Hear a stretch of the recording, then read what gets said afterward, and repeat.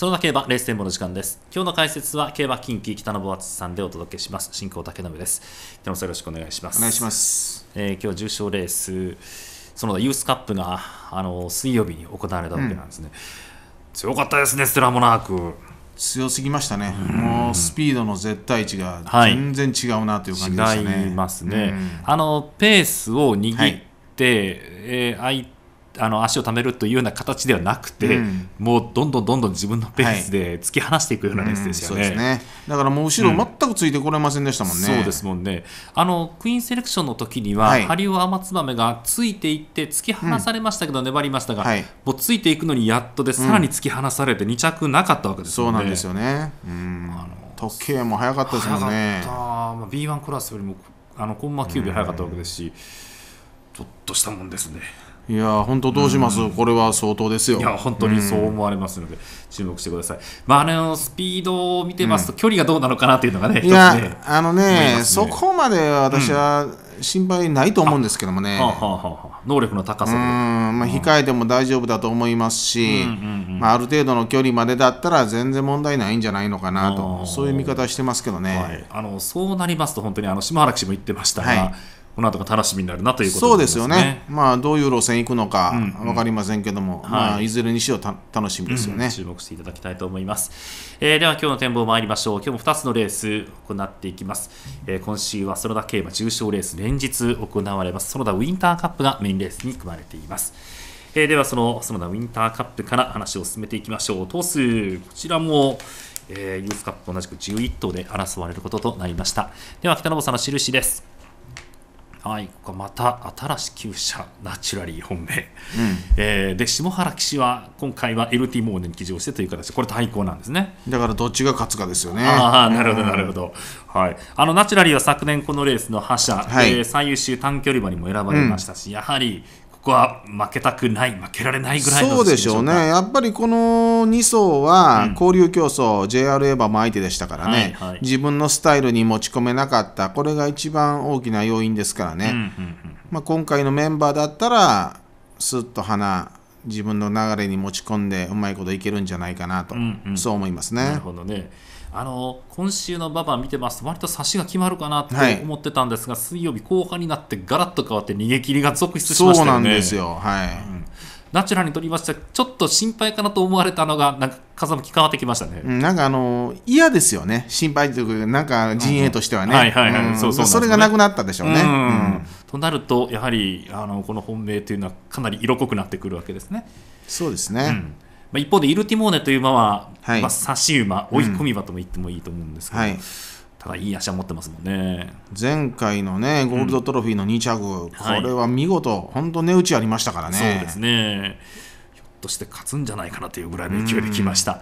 で、まあ、ですから、あのメンバーでも2着ですから、このメンバー7番差し切ってほしいという陣営の思いもあるでしょうね。ありますね。ただ、なんとなしにね、勝ちきれ、勝ちきるのが難しいようなタイプ、それがあるんですよね。はいはい。だからまあね、とにかく足はあるんで、うまくそれを生かせば、ん差し切りがあってもというところでしょうね。なるほど。はい、本命対抗は1番、7番ともに兵庫ゴールドトロフィーからの臨戦ということになります。で3番のエイシンエンジョイ3番手、こちら笠松白銀争覇を勝ってきました。なんかさらにムードが良くなりましたよね去年はいはいはい重賞2勝でしょ。そうですね今年ね、遠征で重賞勝ちまして、うんうん、いい感じでここに臨めますよね。はいはい。そうですね。この馬がこの短距離戦線でどこまで食い込んでくるかというところ一つ注目ですもんね。ねあのーまあ、過去にもナチュラリーにも勝ったことはありますからね、はいはい。まあ、そこまで見劣ることはありませんようね。ん。はい、3番手の評価、まあ、ひょっとしてここは上位2頭食っていくということも考えられますか？いや十分あります。はいそれから2番のセセリ4番手この馬も侮れないですよね。うん、前回の場合はね、直線向いて外に振られた、はいはいねこれが影響しましたからね、うん。でもそれでいて、上がりはしっかり最速でしたからうね、ん2走前の解消、この内容を見直してもいいんじゃないのかなと、はい。そういう思いはあります。はい、あと6番ゴールドスープ11番清正と印が入りました。はい。うん。まあ、両馬ともね、ちょっと勝ちきれない面はあるんですけども、ん。でもまあ3着争いぐらいだったら、あーまあはい、割って入ってくるかな、そんな感じはしますよね。はい。遠心ミコノスあたりもね、そう差はないような気がするんですようね。んそうなんですよね印回らなかったですか？うん、58、58で来て今回56でしょ、はいはいだから斤量的にだいぶ2キロ軽くなったというのはだいぶこの馬にとっては有利ですからね、うん一発があってもという感じはありますけどもね、はいまあはい印は回りませんでしたね。あそういうことなんですね。はいえーというところで、えー上位評価上げていただきました。では、北野さんの印じゃなくて、えー、回目ですね、見ていただきましょう。あもう馬単でも一番ナチュラリーな頭狙はいいと。もうここからいきます。やっぱりあの、は状態面もいいですし、うん大喜利も完璧にまとめましたからね。はいうん、新しい厩舎が今年の4勝目の重賞タイトルになるんじゃないかなとはいいうところですね。はい、一番ナチュラリー中心の北野さんの見解でした。では、その一つ前に行われます9レースの展望 B1 クラス 1700m 戦頭数は9頭です。ご覧のメンバー、北野さんの印ご覧ください。えー本命にされたのは8番のバンローズキングス、まあ、あの去年の兵庫ダービー馬ですから B1 クラスを勝ててないというのは本当不甲斐ないと思われてしょうがないですよね。本当そうなんですよね。まあなんかあと一歩が不足しているような感じがあるんですけどもね、はいはい。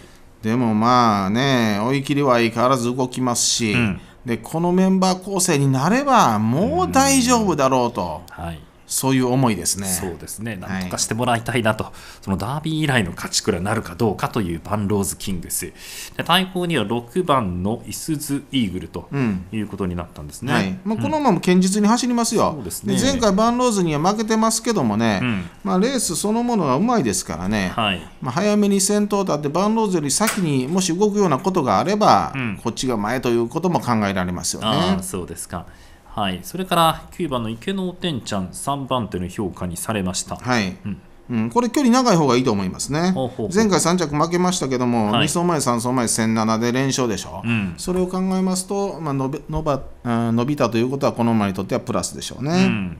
斤量も54キロに戻りますもんね、うんえー3番手、それから3番、アグネス・ルコリエ、これが4番手です。うん、これ前回の姫路は案外だったんですけどもね、はいはい。2回目姫路行ったということでちょっと疲れがあったんじゃないかと。ああ、なるほど。そういう見方もされてますんで今回地元戦、追い切りもしっかりこなしましたんでね、巻き返しやってもいいと思います。はい、1番、エイシン・レガシーと2番、レッド・アマポーラ、その後の評価ですが、いかがですか、うんあのーなかなか勝てないんですよね、お互いにね、うんちょっと甘いところがある。うんでも、栄新レガシー、今回3キロ減持ってきましたからね。ね。この辺がどう生きるかですようん、ね。ほうほう。で、レッドアマポーラ、これは半マイルからいい追い切りしてますよね。うん。まあ、この辺でこの馬の浮上のシーンがあってもいいなとは思ってます。うん。はい。